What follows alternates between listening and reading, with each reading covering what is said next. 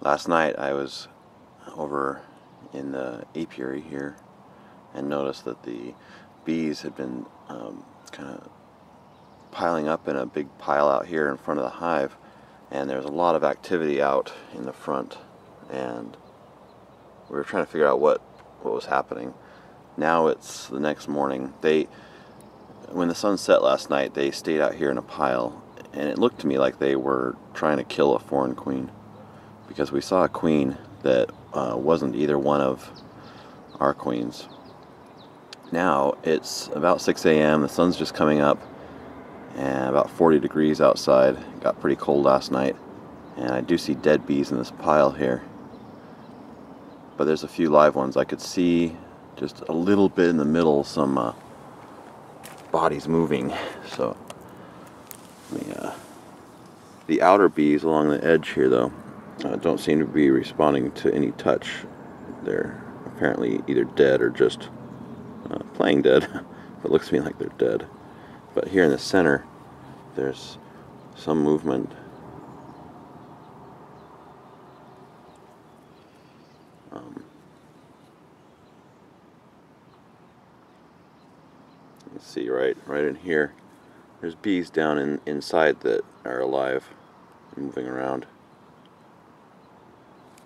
That one there raised its tail when I lifted when I touched it.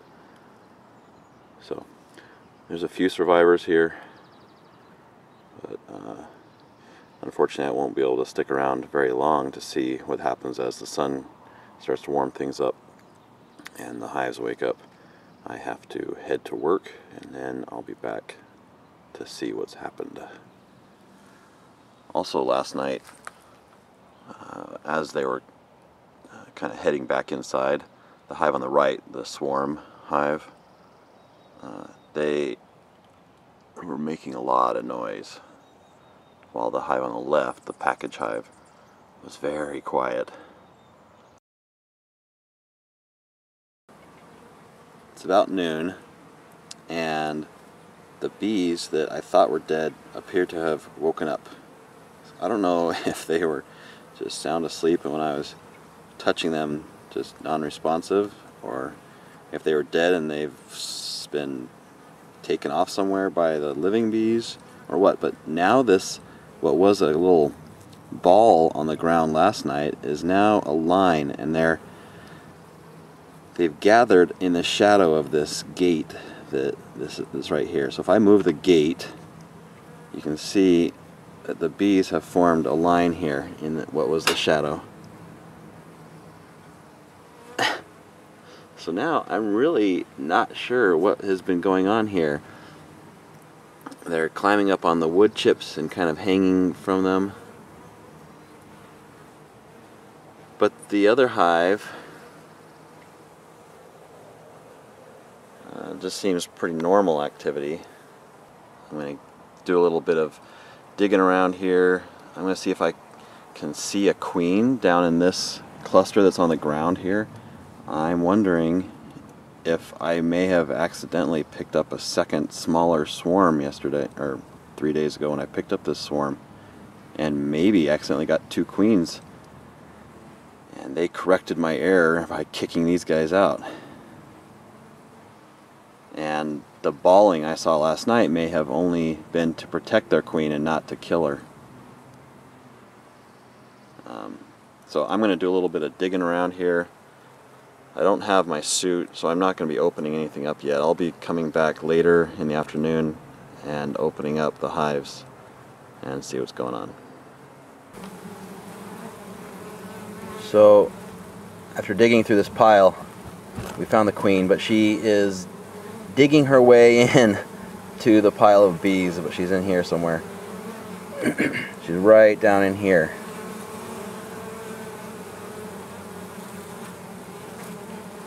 And uh, I, I'm thinking that we may have picked up two queens when we caught the swarm. And this was possibly a virgin queen that came back from a flight.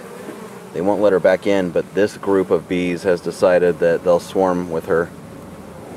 Um, or uh, she may be the older queen and got kicked out of the hive or decided to swarm off with a smaller set.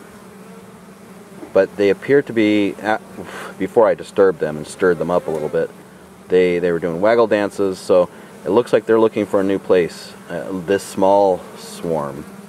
Um, I'm, I'm thinking I want to bring a one of my trap, my, my bait hives over, see if they'll move into it, and then I'll just see what happens. Maybe they'll be big enough they could support themselves.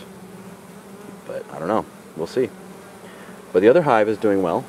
They're they're all up there, and there's still bees in there. They're just a separate colony now.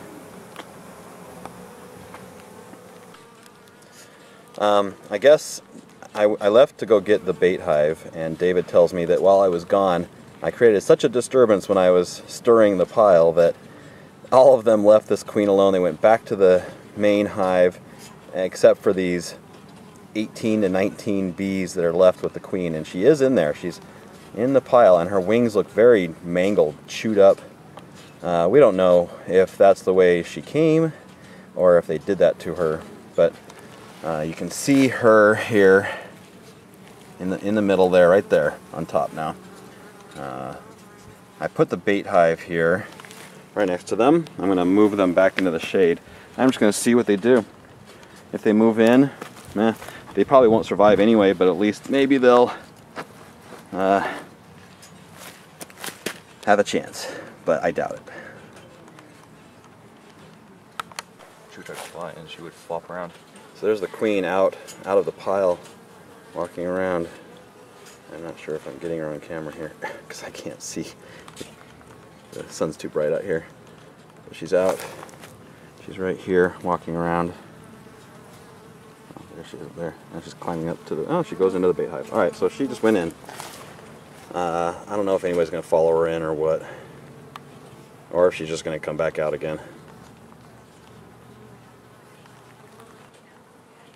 I have some lemongrass oil in there on a q-tip inside a little baggie. I made some extra holes on it for ventilation since it's so hot today. It's at 90 degrees. Woo! That's hot for this time of year in Oregon.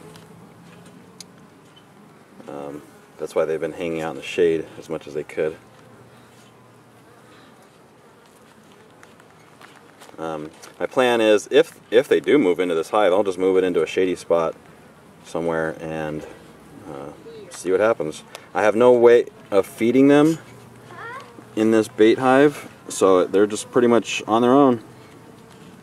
We'll test here.